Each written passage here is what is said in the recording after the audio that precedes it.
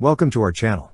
Don't forget to subscribe and put likes, because your support is important for us. And here we go. The Ukrainian armed forces recently showcased images on their social media platforms of the first batch of 60 Gepard Cheetah air defense systems, purchased by the United States from Jordan in November 2023. This significant acquisition is set to double Ukraine's close-range air defense capabilities, enhancing their ability to defend against aerial threats. The delivery follows a comprehensive training program where Ukrainian personnel underwent two months of intensive training in Germany. They continue to refine their skills through regular exercises and the development of algorithms for various operational scenarios. The Ukrainian forces are currently focusing on countering Russian BPLA drones and cruise missiles, with their effectiveness highlighted by a recent exercise where a training aircraft simulating a cruise missile was detected and destroyed. On June 2, within their operational area, these units successfully destroyed 18 Russian X-101-X, 555 and Kalibr cruise missiles and 6 Shahed 131-136 drones during an attack on critical infrastructure.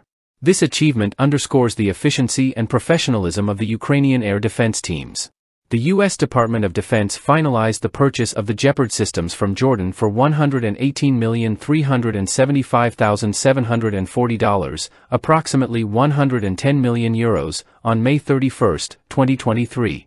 The systems, originally sold to Jordan by the Netherlands in 2013 for 21 million euros, approximately $22.4 million, were transferred after the Dutch armed forces phased out their use.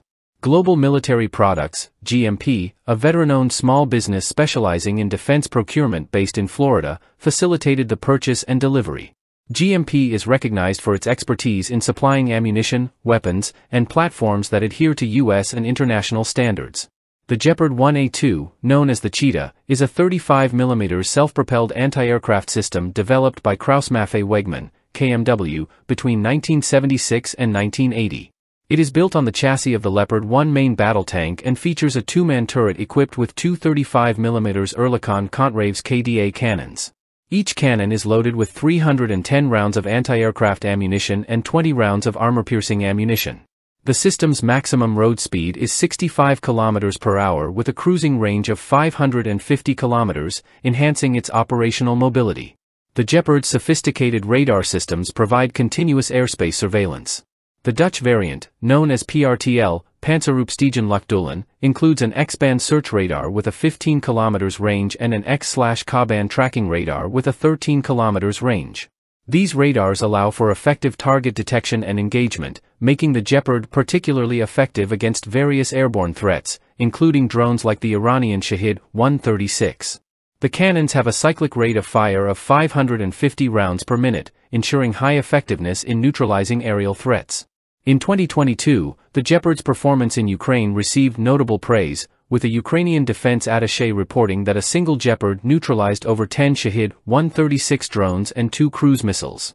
This operational success highlights the Gepard's cost-effectiveness and viability compared to more sophisticated and expensive air defense systems like NASAMS or IRIS-T missiles.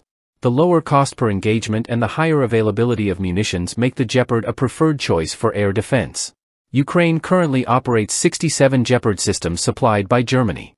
The addition of the 60 Gepard Cheetahs from Jordan, purchased by the United States, will significantly bolster Ukraine's close-range air defense capabilities. This enhancement in their anti-aircraft arsenal is expected to maximize their defensive potential in a cost-effective manner, providing robust protection against aerial threats. That's all for now. See you later.